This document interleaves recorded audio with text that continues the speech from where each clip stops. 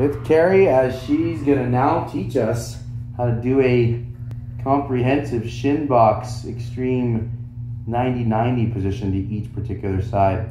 As she's made progressions in her training system, she definitely wanted to add this equation into people people's training regimes, particularly right now as we're all sitting for long periods of time.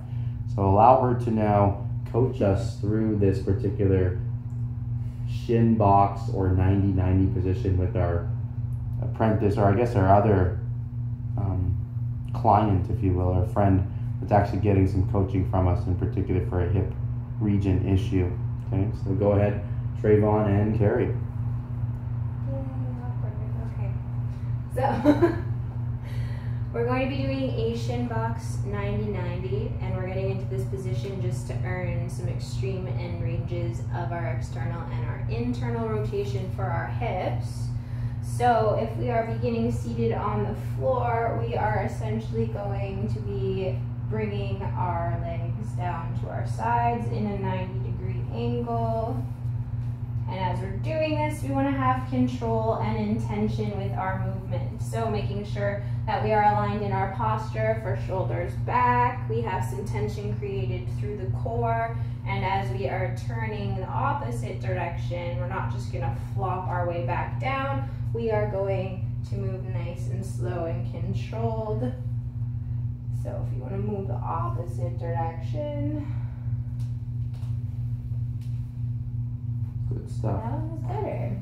Good stuff. So when we are teaching as trainers, Kerry, what are the tension points we want to build, or what are the major points we want to get across here? In the sequence of what we've learned thus far and what we know thus far for the importance of alignment and postural control. Right now, he wants to be in a retracted position where, particularly, shoulder blades, yes. Mhm. Uh, so his arm position, is that helping that? Or is it kind of It, Fighting it's it. kind of helping it. Like if I of, put yeah. my arms out, it'll be a little Yeah. better? like like this, Yeah. it helps me pack my scaps. which is good. But if I And go like this, then they pop out. Right, so he knows that, but what happens to most of us people are gonna be like this. Mm-hmm. What's the biggest thing that we could help people with this? And you wanna be intentional. When he goes to blend that next movement, what should happen to that front external extreme position leg? It should stay on the ground.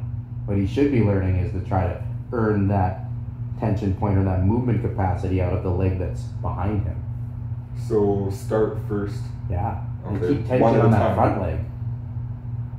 Yeah. Then he's actually activating and being in intentional control of that set sequence or system, Mhm. as opposed to what you mentioned, which is the flopping component. So we're just going to give a client a cue like that. So now go ahead and help him with his cl- with his cues. So if he's going to get the movement, what's the first thing you're going to cue him on?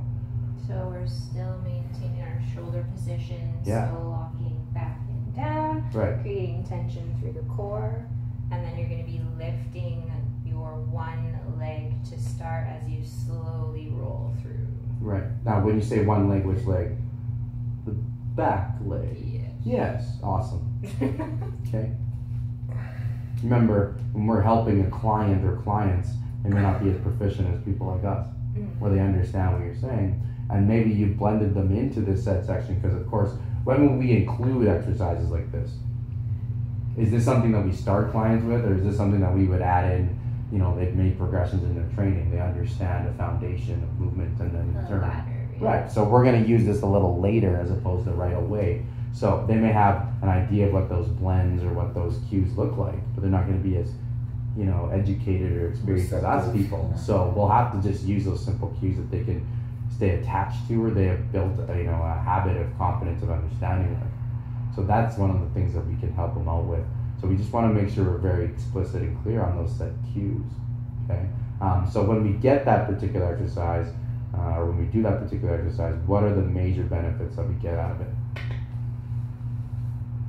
Well, we're working through end range of your motion for hips. So you're working through that, creating tension through the core. So we're actually going to help build some abs. Absolutely. Absolutely. Okay.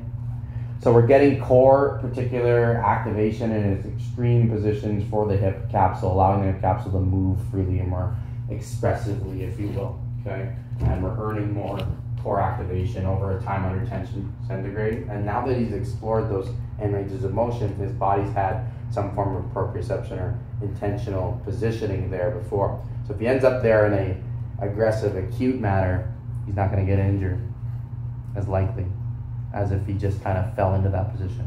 It's also going to alleviate all that tension point he's feeling here, probably because he's been sitting for long periods of time. So a great exercise recommended by Kerry here to help us get more hip mobility for our clients. In particular, my friend here is having some hip issues.